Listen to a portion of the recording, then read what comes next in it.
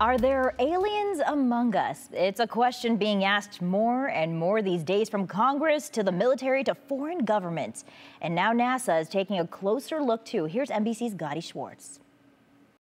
Whether you're a believer or not, the question of aliens on Earth is here and now. NASA, the agency most associated with space exploration, has entered the UFO fray. I personally believe in a universe that is so vast that could there be a replication of life on Earth elsewhere? Of course, I believe that. The agency releasing a 36 page report Thursday on unidentified anomalous phenomenon, or UAP.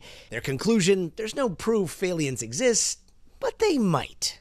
NASA saying UAP presents a unique scientific opportunity and that the agency should play an essential role in studying the subject.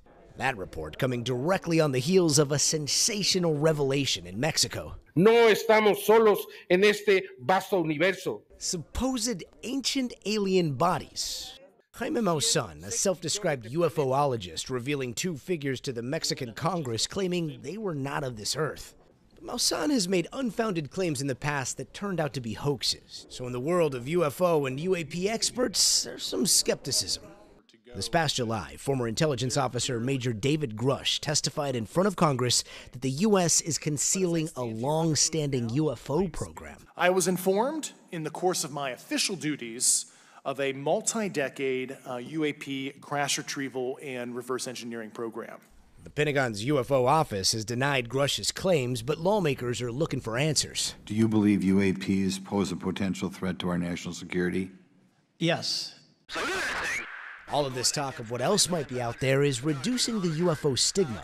More folks are coming forward, including New York Jets quarterback Aaron Rodgers, who recently talked about a UFO encounter he says he had years ago on the show Hard Knocks. We heard the sound and we saw this tremendously large object moving through the sky. And if the truth is somewhere out there, now it's official NASA is on the case too.